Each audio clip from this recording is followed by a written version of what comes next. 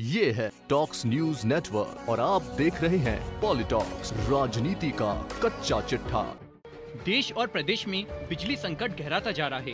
कोयले की कमी के कारण प्रदेश में गहराए बिजली संकट को लेकर मुख्यमंत्री अशोक गहलोत ने केंद्र सरकार पर निशाना साधा है।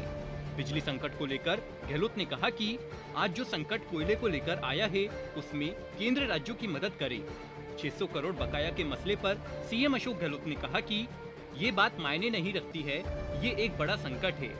और केंद्र सरकार को इसको लेकर राज्यों की मदद करनी चाहिए। गहलोत के बयान पर उपनेता प्रतिपक्ष राजेंद्र राठौर ने पलटवार करते हुए कहा कि प्रदेश में बिजली संकट होने पर आप केंद्र पर आरोप लगाकर अपनी ज़िम्मेदारी से पल्ला नहीं झाड़ सकते। प्रदेश में बिजली के अभूतपूर्व संकट के लिए आपकी सरकार का कुप्रबंध पूर्णत जिम्मेदार है। देश प्रदेश में बिजली संकट पर राजनीति जारी है। लेकिन बिजली संकट का खामियाजा आम जनता और किसान भुगत रहे हैं। शहरों और ग्रामीण इलाकों में बिजली की कटौती की जा रही है।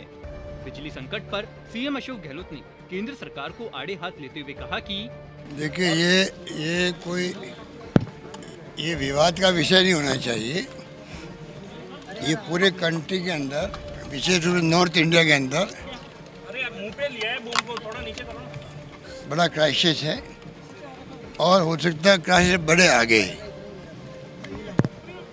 और केंद्र सरकार को पूरे राज्यों को कोऑर्डिनेट करना चाहिए कि अधिकांश राज्य बिजली संकट को लेके केंद्र सरकार को कन्वे कर चुके हैं।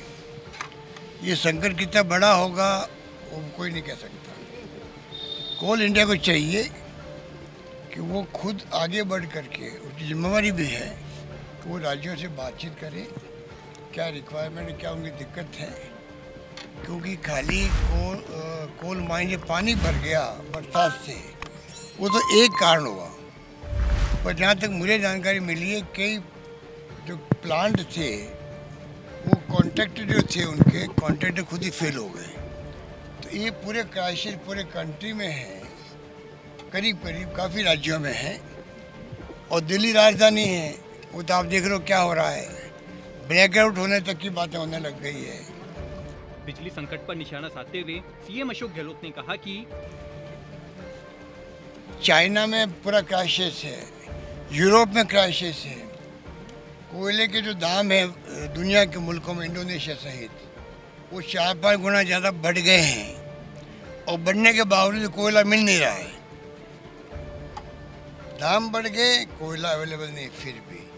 स्थिति बड़ी अजीबो गरीब बन रही है। सुन के ही आश्चर्य होता है।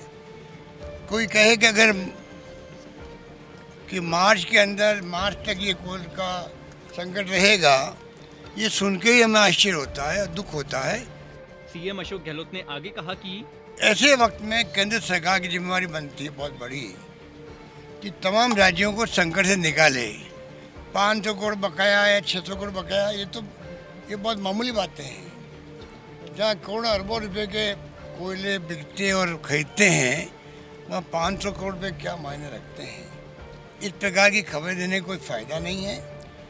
केंद्र की जिम्मेवारी है और मुझे उम्मीद है कि जो केंद्रीय ऊर्जा मंत्री हैं वो सक्षम हैं। मुझे उम्मीद है कि वो जिस प्रकार कोऑर्डिनेट कर रहे हैं राज्यों को बिजली को लेकर के वो कोई हल निकालेंगे। बजाय इसके कि हम लोग अ, राज्यों के ऊपर जिम्मेवारी डाल दें। कि कोई कमी नहीं कोयले की। ये कहना ही मैं समझ तो बेमानी है कोयले की। इधर सीएम अशोक गहलोत द्वारा बिजली संकट से पल्ला झाड़ने और केंद्र सरकार पर ज़िम्मेदारी डालने के बयान पर उपनेता प्रतिपक्ष राजेंद्र राठौर ने पलटवार किया है। राठौर ने कहा कि मुख्यमंत्री जी कोल इंडिया कंपनी के चेयरमैन के बयान से स्पष्ट है कि कोयला प्रबंध को लेकर राज्य सरकार कितनी गंभीर है। सरकार ने पूरे साल कोयला नहीं लिया और 600 करोड़ रुपए भी बकाया है।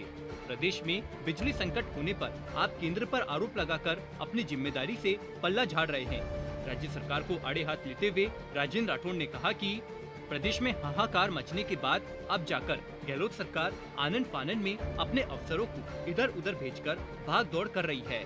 प्रदेश में बिजली के अभूतपूर्व संकट के लिए आपकी सरकार का कुप्रबंध पूर्णत जिम्मेदार है। किसानों और ग्रामीण जनता के परेशान होने का हवाला देते हुए राजेंद्र राठौड़ ने कहा कि पिछले 10 साल में पहली बार जब गाँव में 8-10 घंटे बिजली कटौती होने से किसान सबसे ज़्यादा परेशान है। एक तरफ़ किसान डीपीए खाद को लेकर घंटों लाइन में खड़ा रहने को मजबूर है, वहीं बिजली संकट की सबसे ज़्यादा मार भी किसान झेल रहा है, जबकि किसानों के लिए यह समय फ़सलों की बुआई का होता है। बता दे, कोयले की कमी के चलते बिजली उत्पादन इकाइयों में उत्पादन ठप पड़ा है। बिजली कंपनियों के द्वारा सभी जिला मुख्यालय और सभी नगर पालिका क्षेत्रों में दिन के समय एक घंटे की बिजली कटौती की जा रही है, जबकि ग्रामीण इलाकों में तीन से चार घंटे की कटौती की करने का फैसला किया गया है। राजधानी जयपुर सहित प्रदेश के कई जिलों में बिजली कटौती की जा रही है। Politalks bureau, Jaipur. ये है टॉक्स न्यूज़ नेटवर्क और आप देख रहे हैं पॉलिटॉक्स, राजनीति का कच्चा चिट्ठा।